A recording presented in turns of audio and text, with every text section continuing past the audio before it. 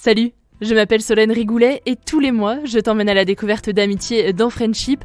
Pour cette deuxième saison, elle rime aussi avec nouveauté puisque je vais rajouter un rendez-vous par mois. En plus de l'épisode mensuel de témoignages, tu vas découvrir tous les derniers jeudis du mois un format culturel. Dans ce format que j'ai appelé En vrac, je vais parler avec des spécialistes de la pop culture d'amitié fictive marquante puisque on en parle déjà dans chaque épisode. Cette fois-ci, c'est le moment d'en parler plus longuement. Et il faut avouer qu'on a quand même tous rêvé d'être amis avec euh, certains de nos personnages préférés en fonction euh, de, des générations. C'était peut-être Joey ou Barney. Et pour euh, les grands fans comme moi, être ami avec Ron et Hermione. Parce que, bon, clairement, Harry, il sert pas à grand chose, il faut avouer les choses. Bref, tu l'as compris, ce nouveau format, il est dédié aux amitiés fictives dans la pop culture. Et pour cet épisode, j'ai échangé avec Florian Lambolé, un spécialiste de cinéma. Nous avons parlé des films et surtout des amitiés qui nous ont marqué au cinéma donc en 2020. Je te souhaite une très bonne écoute. Bonjour à tous. Donc, euh, je suis ravie aujourd'hui de vous retrouver pour euh, ce nouveau format euh, de Friendship. C'est le premier de l'année 2021 et pour ce premier épisode, je suis accompagnée d'un spécialiste du cinéma. Je suis avec Florian Lambolé. Bonjour Florian. Bonjour Solène. Merci d'être avec nous. Avec plaisir. Donc aujourd'hui, avec toi, on va parler des amitiés qui nous ont marqués en salle en 2020. Alors c'est vrai que ça a été un petit peu compliqué. Hein. Tu me le disais juste avant euh, qu'on enregistre de, trouver des, films qui nous ont marqués et des amitiés qui nous ont marqués, puisqu'en 2020, les cinémas euh, nous ont peu accueillis. Hein. C'est le problème, c'est le problème. C'est malheureusement, oui, les salles euh, ont été fermées. Et, donc la sélection de films est assez réduite, donc forcément encore plus sur les films d'amitié. Mais comme je trouve qu'on retrouve un petit petite graine, une petite fibre d'amitié un peu dans tous les films, on arrive tout de même à en sélectionner quelques-uns. Florian, tu m'as dit que tu avais pas mal réfléchi et alors c'est vrai qu'on n'a pas eu la même réflexion. Moi, je me disais que c'était difficile de trouver euh, des relations où c'est de la vraie amitié et que euh, qui se transforme pas en, amour en fait, ou, alors où c'est ambigu entre les personnages. Alors que toi, tu m'as trouvé un nombre de films incalculable. Ah bah, je trouve qu'on a oui énormément et forcément quand on creuse dans chaque film, il y a une histoire d'amitié. Alors qu'il peut se transformer en amour, ça peut être aussi euh, de l'amitié avec des liens des liens familiaux derrière. Donc, euh, enfin, ça, ça, ça, dépend. Enfin, vraiment, comment on veut. Euh, on veut noter ce, ce, ce côté amitié, quoi. Ouais, chacun sa définition aussi, en fait, euh, chacun comment on perçoit cette relation-là. Donc toi, t'as as sélectionné combien de films que tu as vu déjà et combien que tu n'as pas vu Alors, je n'avais pas vu beaucoup cette année non plus, hein, par le fait, c'était assez compliqué. je sais qu'il y a un film que je n'ai pas vu, mais qui est important et qui traite vraiment de l'amitié, c'est le film Play avec Max Boublil.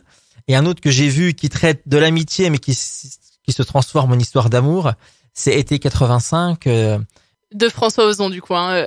de François Ozon, voilà. oui, c'est vrai que c'est un film qui a, qui a, beaucoup fait parler, mais c'est vrai que moi, quand tu m'en as parlé, euh, je me suis dit ah c'est marrant parce que en voyant juste la bande annonce, parce que j'ai pas eu la chance euh, ni le temps d'aller le voir au, au, cinéma, je pensais que c'était une histoire d'amour. Donc est-ce que tu peux m'en dire un peu plus alors c'est une histoire d'amour, oui, forcément. C'est l'histoire d'un jeune garçon qui arrive euh, qui arrive dans, dans, une ville en plein été, en 1985, forcément, et euh, qui va tomber sur ce, ce garçon par hasard.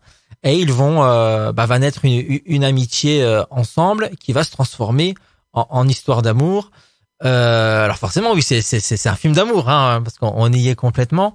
Mais mais avant tout, c'est voilà, c'est une rencontre pleine d'amitié et qui aurait pu continuer sur cette lignée-là et comme on a pu rencontrer des personnes euh, pendant les vacances d'été, hein, parce que ça va se passer juste le temps d'un été et va s'en découdre euh, des histoires euh, autour de tout ça. Dès que j'ai vu la bande-annonce, je me suis dit que c'était un film d'amour et que c'était très beau de voir deux hommes qui s'aiment au cinéma, surtout dans le cinéma français. Mais alors, à quel moment est-ce qu'on a cette transition entre l'amitié simple entre deux garçons et, et l'amour En fait, à quel moment ils se disent, bah en fait, on n'est plus que ça, plus que des amis. Assez rapidement quand même hein, dans le film, parce que ça c'est quand même centré sur une histoire d'amour entre deux garçons. Mais euh, mais pour un des deux personnages justement, c'est plus une histoire d'amitié au début et qui va se transformer euh, plutôt un jeu même entre garçons mhm. où euh, c'est un des deux qui va qui va plutôt pousser l'autre parce qu'ils se connaissaient pas, ils se découvrent également durant cet été-là et c'est là qu'il va qu'il va découvrir qu'il est va tomber follement amoureux de ce garçon. J'irai découvrir euh, ce film. Euh, ah, je, le conseille. Hein. Franchement, je conseille. C'est un, un, des plus beaux films que moi j'ai vu cette année. François Ozon, on aime ou on n'aime pas son cinéma. Hein. C'est toujours aussi assez particulier, mais j'aime parce que justement, il va, va sur des terrains toujours euh, différents. On le retrouve jamais au même endroit, François Ozon. Et là, il, il a vraiment su mettre en image tout ça. Et en plus, le film aurait dû passer au festival, au festival de Cannes cette année. Et malheureusement, bon, il y a eu une version virtuelle, Ah, mais C'est ce qui s'est passé. mais voilà quoi. Je pense qu'il aurait eu un prix d'interprétation, je pense, pour ce Mm. film. Et, euh, et c'est vrai que, enfin moi, souvent quand je regarde des, des films ou des séries, euh, très vite je me demande si une relation en- entre deux personnages va évoluer en, en, en amour ou va rester en, en amitié. Et parfois ça me déçoit en fait que ça se transforme en amour. Là c'est pas une déception euh, finalement qu'ils restent pas juste juste amis. Finalement on, a envie qu'ils deviennent amoureux ces, ces deux garçons. Ah oui, on y croit, euh, ça, ça fonctionne. Alors on y croit et on est déçu parce qu'il y en a quand même un des deux, on a un peu l'impression qu'il s'amuse et qu'il joue plutôt avec l'autre. Et finalement, c'est sa façon d'être et on le découvre. Et c'est ça que j'aime dans le cinéma de François Ozon et particulièrement dans ce film-là, c'est que la psychologie des personnages, il est, c'est bien écrit, c'est bien étendu et ça s'arrête pas à juste une histoire, une histoire d'amour qui pourrait être plutôt banale et qui est banale hein, en vrai, mais qui, euh, qui en découle avec des, des histoires derrière et des, Mm. des secrets aussi également. Parce que oui, en, en 85, il faut aussi se remettre dans le contexte que on se cachait quoi. Oui, évidemment. Voilà. et euh, ok, et ben alors euh, on conseille euh, de d'aller voir ce, enfin de voir ce film. Alors il est disponible en, en VOD, hein, j'imagine. De toute façon, euh, je mettrai euh, le lien euh, dans la description euh, de, de l'épisode de tous les films dont on va parler euh, là dans, dans cet épisode. Moi, j'en ai sélectionné deux. Euh, deux que j'ai vus parce qu'en fait je me suis rendu compte que j'en avais pas vu beaucoup en salle. Euh, j'ai noté surtout 1917 en fait. Alors certes c'est un film qui est sorti en, en 2019 mais moi je l'ai vu en 2020 et on va dire qu'il a surtout Ça passe. cartonné en 2020. ouais. surtout que bah, il était nommé aux Oscars Exactement. donc euh, pour euh, le, le meilleur film donc euh, c'était la promotion 2020 euh, des Oscars donc Oui, on en a beaucoup parlé. du coup, ouais, 1917, c'est un film donc qui a été réalisé par Sam Mendes, dont on a vraiment beaucoup parlé. Je pense que vous en avez tous entendu parler, surtout avec le long plan séquence et la manière de filmer. C'est c'est surtout ça qui, qui a Oui, beaucoup. on en a beaucoup parlé. ouais. J'interviens au milieu de l'entretien pour euh, te prévenir, je spoil une partie du film 1917 dans les minutes qui suivent, alors si tu n'as pas encore vu le film et que tu préfères être vierge de toute information, je te conseille d'avancer de 4 minutes et ensuite tu pourras continuer très tranquillement l'écoute de cet épisode. Beaucoup fait parler, c'est ça, donc j'en rajoute encore une couche, hein, comme ça, euh, comme si vous n'en aviez pas assez. Et, euh, donc en fait, moi j'ai été surtout marquée bah, par euh, l'histoire bah, de ces deux jeunes soldats qu'on suit pendant tout le film. Alors c'est vrai que la moitié du film, on n'en suit plus qu'un, hein, parce que les, la guerre fait que euh, il n'en reste qu'un euh, à la fin, et on n'est pas dans Colanta. voilà, vous savez, vous savez la fin du film. alors, euh, spoiler. c'est c'est un spoil, oui et non, mais enfin, bon, sans doute. c'est un film quand même qui a cartonné, donc si vous l'avez pas vu, et puis on reste à la guerre, donc forcément il y a quand même ce, ce risque-là de, bah, de mourir. Hein. C'est- plus qu'un risque hein, quand on, on fait la guerre. Et, Ouais. euh, et donc en fait c'est vrai que c'est c'est une amitié qui m'a beaucoup marqué parce que à la base en fait c'est un des deux soldats qui est, qui est missionné pour euh, pour passer un message de, de l'autre côté euh, du, du No Man's Land euh, pour un bataillon où il y a son frère en plus euh, qui, qui est en face et qui doit sauver euh, je crois 1600 soldats britanniques. Ces deux garçons donc euh, ils partent dans cette aventure euh, bah, pour essayer de sauver de sauver euh, 1600 euh, soldats britanniques. Et donc euh, c'est vrai qu'il y en a un qui, qui le fait vraiment en plus bah, parce qu'il y a son frère de l'autre côté. Donc c'est une histoire un peu familiale. Et il emmène avec lui euh, ce- son ami et en fait, euh, bah, celui euh, qui décède, c'est celui qui a son frère de l'autre côté. Et malgré tout ça, bah, l'autre, il va continuer le, le- son périple, il va continuer l'aventure. Et en fait, moi, c'est ça que j'ai trouvé magnifique, c'est que malgré tout ce qu'ils peuvent vivre, et, et ben, euh, l'aventure continue. Et cette mission, alors oui, c'est une mission qui est nécessaire, euh, qui est bien au-delà de l'amitié. Hein, il faut sauver les autres soldats. Euh, donc évidemment qu'il faut le faire, mais je trouve que, que c'est beau euh, dans, dans cette histoire-là, en fait, euh, de voir que bah, il le fait aussi pour lui, qui est, qui est resté sur euh, sur le champ de bataille, qui est, qui est resté et euh, et qui à la fin, bah, bah lui, il se retrouve tout seul, il a plus son son compagnon d'aventure, cette amitié qui s'est créée bah, dans les difficultés de bah, des tranchées, quoi. C'est Et ce lien qui le fait, qui, euh, qui en a besoin pour continuer à Ouais, avancer et Mm. qui faisait partie de son quotidien. J'imagine que pendant un temps de guerre, forcément, on se raccroche à ce qu'on peut se raccrocher. Et puis, un, un lien d'amitié, c'est aussi fort que des liens familiaux aussi. Donc, euh, Ouais, c'est ça. Si Surtout, je se pense dans dans des contexte- conditions comme ça, euh, c'est euh, c'est vrai que et j'ai trouvé que c'était très bien retranscrit dans le film en fait, de voir que en fait, bah il se bat pas que pour lui, il se bat aussi pour bah pour ce copain qu'il a laissé derrière et puis bah pour ses copains qui qui sont de l'autre côté et qu'il faut sauver. Donc euh, donc j'ai trouvé ça ouais très très chouette dans ce film. Toi, t'avais noté euh, Play, tu m'as dit que tu n'as pas vu. Non, non, ah, c'est c'est compliqué quand on part sur un terrain où euh, j'en ai vu plein des films hein, en 2020, mais malheureusement sur l'amitié il y en a pas beaucoup, donc c'est en plus on ah, bah sélectionne et qu'on se retrouve. Non, il y en a pas, il y en a quasiment pas. Hein. Après, mm. on peut creuser hein, parce que j'avais mis aussi le film en avant, par exemple des studios Pixar. Oui. Alors c'est mm. pas tout à fait un film d'amitié parce que c'est quand même deux frères qui se retrouvent, qui essayent de voilà de de, de... Enfin, c'est des sorciers et qui essayent de, de, de, pouvoir retrouver le temps d'une mm. journée leur papa disparu avec euh, une formule magique qu'ils vont tenter de retrouver tout ça. Alors c'est pas de l'amitié à l'état pur, mais c'est quand même des liens très forts entre deux, alors ces deux frères. Mais mm. voilà, si on pousse un petit peu plus loin, voilà, c'est c'est quand même des liens d'amitié parce que même entre frères et sœurs, on s'entend pas forcément tout le temps. Mm moi je trouve que ceux qui sont euh, assez proches dans la vie de tous les jours et qui se racontent tout, c'est quand même un lien mm. fort qui se rapproche de bah, l'amitié. C'est vrai que c'est toujours euh, quelle euh, définition on met en fait sous sous l'amitié. c'est pas un souci. C'est vrai que c'est une définition qui est toujours compliquée en fait parce que est-ce qu'à partir du moment si on si on est frère et sœur, bah on peut plus être considéré comme ami Est-ce que si on est amoureux, et eh ben on n'est plus considéré non plus comme ami puisqu'on est entré dans une autre relation. Donc c'est vrai bah, que c'est compliqué. Ah, on, on et dans les films aussi, en fait, on, on, se, on, se, questionne pas mal là-dessus de savoir. Euh, bah par exemple moi c'est dans Adieu les cons euh, bah que tu n'as pas vu non plus du coup décidément. Ah, j'ai pas eu de chance. Je devais le voir juste que bah, ça fermait donc euh, bah, c'est le problème 2020 est une année vraiment euh, dans, partout c'est catastrophe c'est une catastrophe. Mais c'est vrai que dans Adieu les cons donc il y a trois personnages principaux et donc il y a le personnage de Suze, donc il y a une relation avec euh, JB. Hein, euh, on connaît pas trop son nom, je crois. D'ailleurs, c'est juste JB. Et avec le personnage, alors j'ai noté le nom que je le retrouve, Monsieur Blin. Oui, voilà. Donc c'est juste elle qui a une relation avec JB et une relation avec Monsieur Blin. Sinon, les deux autres personnages ont pas vraiment de lien. Même on peut dire qu'ils ne s'entendent pas trop dans le film. Et en fait, la relation qu'elle a avec Monsieur Blin, c'est vrai qu'elle est toujours un peu euh, suspecte. On se demande si c'est de la friend zone, si c'est juste que euh, elle ne se rend pas compte des avances que lui peut lui faire ou des pics qu'elle peut envoyer. Euh. c'est là où on se demande en fait où, où est l'amitié et où elle s'arrête aussi parce que eh ben lui on a l'impression qu'il a envie de plus et d'ailleurs il entreprend un peu pour pour passer plus de temps avec elle et tout et elle soit elle se met des œillères soit elle fait comme si elle ne le voyait pas parce qu'elle a pas envie de lui faire du mal euh, et, donc c'est vrai que dans ce film-là, ça m'a questionné en tout cas sur cette relation qu'il peut y avoir entre entre ces deux personnages-là. Donc quand on aura l'occasion de le voir, j'espère euh, à la réouverture des salles. Euh. Oui, parce que celui-là, ça fait voilà, dans ma salle de cinéma, je suis exploitant également. voilà, ça fait partie vraiment des, des, des films qui ont marqué 2020. Mm. Albert Dupontel, hein, déjà, c'est son cinéma. et euh, voilà qui fait partie des films qu'il faut rattraper et qui ne font pas partie que du paysage 2020 mais qui feront également partie du paysage 2021 avec la mm. réouverture c'est parce qu'il y a pas mal de de films qu'on je pense qu'on est passé à côté de pas mal de films. Ouais, mm, c'est vrai. Et du coup, bah moi Play, je l'ai, je l'ai pas vu.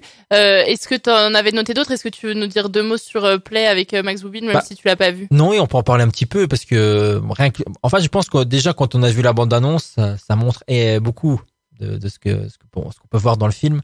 Elle a appelé avec Max Boublil, c'est l'histoire d'un garçon qui euh, qui a toujours tout filmé dans sa vie, qui a des rushs de cassettes depuis euh, sa tendre enfance. Et justement, il décide de tout revisionner, de revoir sa vie. On, suit en direct avec lui ces moments où il remet toutes ses, cassettes depuis euh, la première jusqu'à aujourd'hui.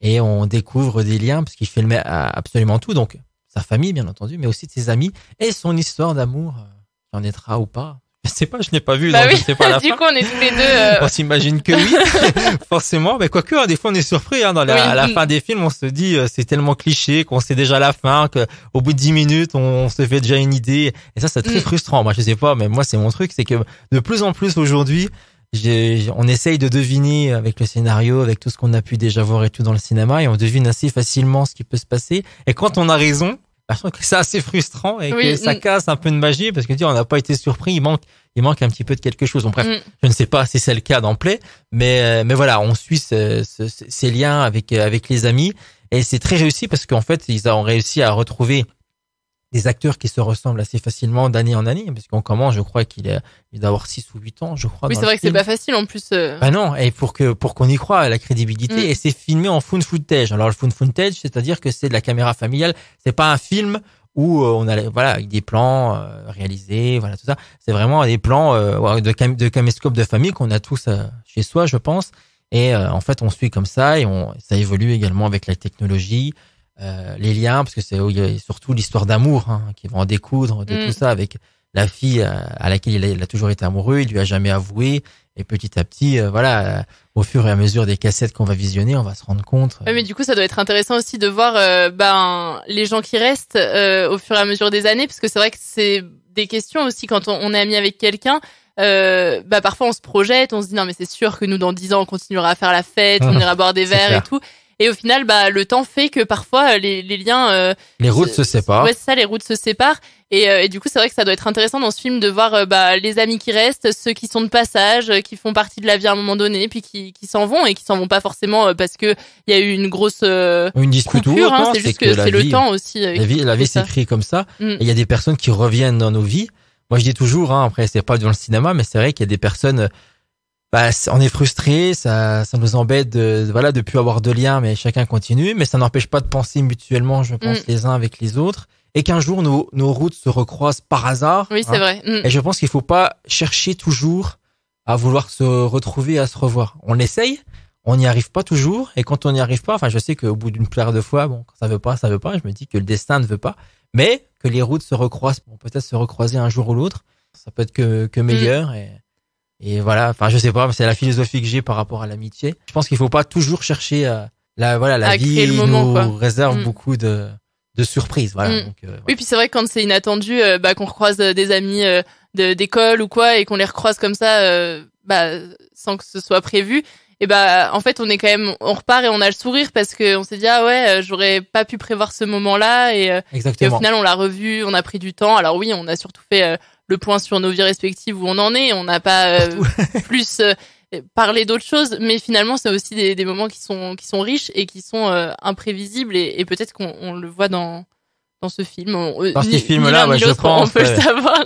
C'est clair, puis se remémorer aussi des, des souvenirs qu'on a aussi oubliés. Mm. On, on a chacun, il y a forcément des choses que chacun ça nous a marqué et euh, on- qu'on a oublié et qu'on peut se raconter mutuellement et puis avoir plein de, de souvenirs qui reviennent. Je sais qu'en vieillissant, ça arrive de plus en plus. Enfin, pour moi, c'est toujours formidable. C'est un peu comme cette odeur que dès qu'on sent quelque chose quelque part, qu'on n'a pas l'habitude, Oui, c'est vrai. et Mm. tout de suite on se sent projeté dans un, dans un coin Mm. de notre enfance, adolescence. Et, on se souvient de choses comme ça qu'on avait totalement zappé. On se dit ah ouais, voilà. C'est vrai, c'est vrai. Est-ce que t'as un film coup de cœur où vraiment il y a une euh, relation amicale qui t'a marqué et où pour toi c'est le film à voir euh, si euh, on aime ces relations amicales?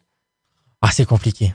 C'est Ah. compliqué parce que un seul, je pourrais pas. Je- franchement, je pourrais jamais choisir. Si on m'aurait posé la question sur la une série télévisée, j'aurais répondu sans hésiter Friends. On en parlait juste dit. avant. Tout est dit dans la, voilà, dans le titre déjà.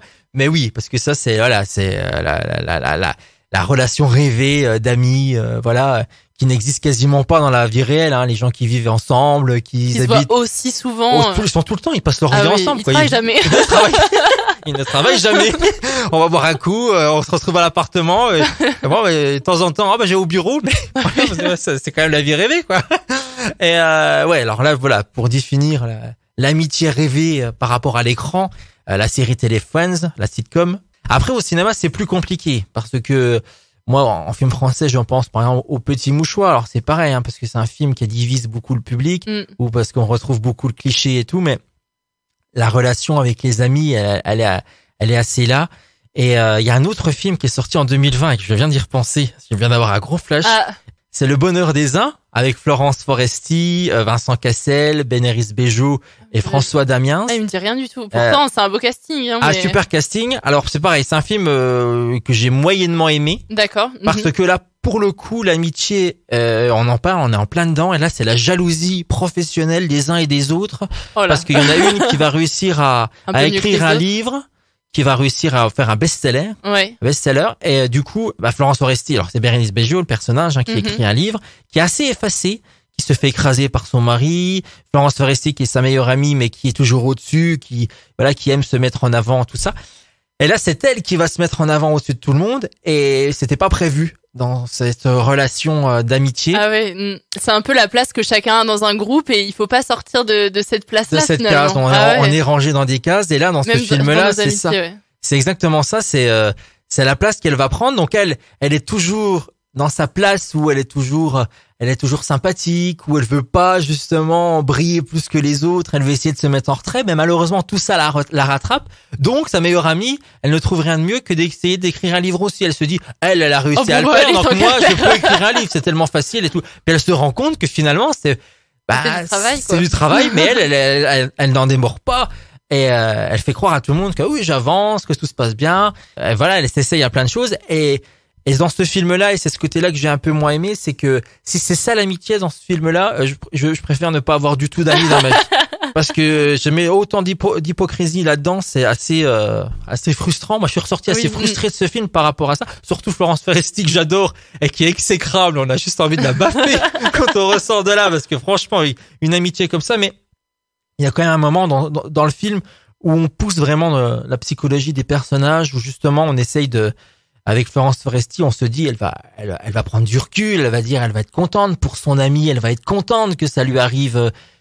Et finalement, euh, on sent qu'il y a toujours un goût amer et qu'il y a ce goût de jalousie et que la jalousie aussi entre amis, euh, ça existe et que c'est que ça peut être aussi bien Oui, présent et que ça peut tout gâcher quoi. Et là, dans ce film-là, je pense que ça résume euh, plutôt pas mal ce côté-là de l'amitié. Ouais, mm. Contrairement à ce qu'on a pu voir dans les petits mouchoirs où il y a des liens, où tout le monde s'aime, mais qu'un rien, il n'y a pas qu'un rien, parce qu'il y a un ami qui va mourir, donc ils sont tous ensemble, Oh mais- là là, le spoil. qui va mourir, hein. Euh, euh, je l'ai dit. Euh, non, non, mais en, en vrai, on en a déjà parlé dans un épisode de Friendship de, des petits mouchoirs et on a déjà spoilé clairement que un personnage décédé. Voilà, voilà. Bon, voilà, on devine assez rapidement dès la première minute du film qui va mourir. mais bon, après ce film-là, c'est pas ça. C'est autour l'égoïsme. Les- L'égoïsme, je pense, qu'il ressort énormément, euh, énormément. L'ego de tout le monde, Mm. la place de tout le monde, euh, les, les relations avec chacun. Et, je pense que c'est un film qui résume quand même plutôt bien ça et que c'est très bien écrit hein, pour euh, Guillaume Canet. Bravo, bravo. Franchement, je trouve que c'est vraiment bien. Voilà, ce film, euh, voilà, il résume Et tout. même, euh, tu me disais que t'avais préféré la suite en Oui. fait. Nous finirons ensemble. euh, voilà, il a réussi à faire une suite de tout ça. Alors, au début, je me suis dit, qu'est-ce qu'il va bien pouvoir Mm. raconter? Parce que justement, ça tourne dans le premier film, ça tourne autour du personnage joué par Jean Dujardin, qui est voilà, qui est Qui a qui, est a eu ouais. un Mm. accident, qui est à l'hôpital, et il est entre la vie et la mort.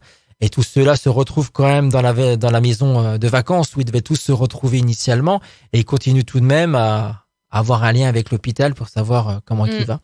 Et euh, enfin bref, et euh, on suit tous ces personnages qui sont totalement différents, qui ont tous des des liens d'amitié un peu euh, étroits entre les uns et Mm. les autres, et que finalement ils s'aiment tous, mais mais voilà, et que dans cette suite, on comment on pouvait euh, continuer à, à les retrouver? Justement on retrouve ce qui s'est passé entre ces huit ans d'absence entre Mm. ces deux films.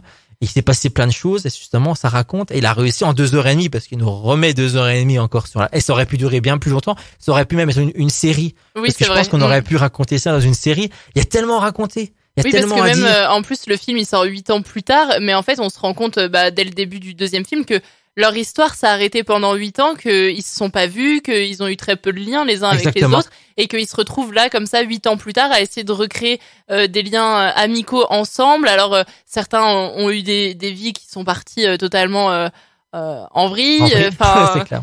et, et du coup, et puis certains sentiments amoureux qui sont toujours là, même huit ans plus tard, certains qui essayent encore d'avoir des relations les uns avec les autres. Enfin, c'est vrai que euh, nous, on, ne les a pas vus pendant huit ans, mais eux non plus ne se sont pas vus. Et donc c'est vrai que quand on les retrouve, et ben, on retrouve aussi ce groupe avec euh, ces non-dits pendant huit ans, euh, toute euh, cette relation qui n'a pas existé en fait et, et qui est en reconstruction. Donc c'est vrai que c'est assez marrant. Exactement. Voilà, je pense que là, ça résume bien euh, la- la- l'amitié avec des personnes. On peut avoir des amitiés très fortes et qu'un jour ça s'arrête, mais Mm. pas parce qu'on a pris des chemins différents, c'est parce que bah si, on a nos vies, il y a des, des circonstances qui font que, mais Mm. on pense toujours à l'un à l'autre. Oui, c'est ça. Et qu'un Mm. jour, euh, voilà, que ça, ré- ça résume un peu ce que je disais tout à l'heure, Oui, mais vrai. qui, Mm. qui fait que ben, on va plus se retrouver, mais on pense quand même à l'autre. On se prend des nouvelles de temps en temps, mais on, c'est moins fort qu'avant, mais c'est aussi fort tout de même sans se voir. Donc, euh, je pense que voilà, ce deuxième film raconte plutôt ce, ce décalage où ils étaient tous proches, très très proches euh, dans le premier film.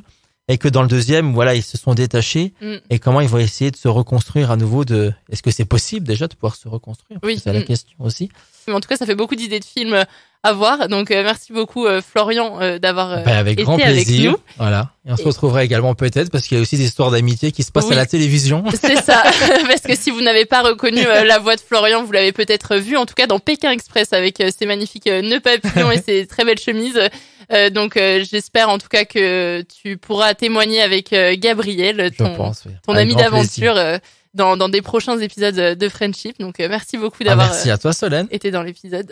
merci et puis euh, peut-être à bientôt. Je mettrai donc, comme je l'ai dit, euh, tous euh, les films dont nous avons parlé dans la description euh, de l'épisode. N'hésitez pas à nous envoyer des messages donc euh, sur Instagram pour euh, nous partager vos avis sur euh, ces amitiés et les films dont nous avons parlé. Même si c'est des films que dont on n'a pas parlé, mais parce qu'on n'a pas eu l'occasion de les voir en salle, hein, vous pouvez euh, nous nous faire euh, des messages sur Instagram. Et c'était le premier épisode de ce format culturel de Friendship. Euh, J'aimerais beaucoup avoir euh, votre avis sur ce format, donc euh, laissez-moi un commentaire sur Apple Podcast ou alors écrivez-moi sur le compte Instagram du podcast. Et puis, vous connaissez la chanson pour aider le podcast à se faire connaître. Parlez-en autour de vous, commentez, partagez. Et moi, je vous donne rendez-vous le mardi 9 février pour le prochain épisode de Friendship.